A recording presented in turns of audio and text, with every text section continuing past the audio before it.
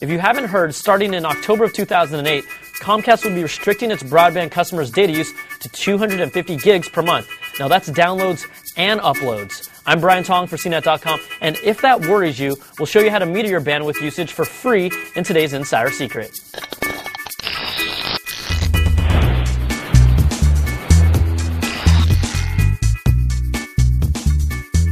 Now, we've got to give props to Seth Rosenblatt and the Download.com team for helping us find the tools to meter your bandwidth for your PC or your Mac. Now, for the PC, check out BitMeter. It lives in your Windows taskbar, and you can click on it to see a graphical representation of your usage.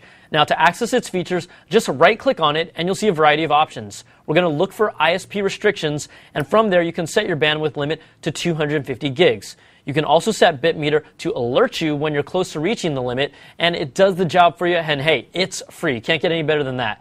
Now, for the Mac, you'll want to check out Surplus Meter. It's also free, and it's a single window application, which is a lot cleaner, and you can enter in your data usage limit just like BitMeter. Now, you want to include uploads by clicking on the appropriate box, and you'll have a progress bar that's helpful to show you your usage, but there's no warning that tells you when you're getting close to reaching your limit. I'm Brian Tong for CNET.com, and these are two applications that will help you meter your bandwidth for free on your computer.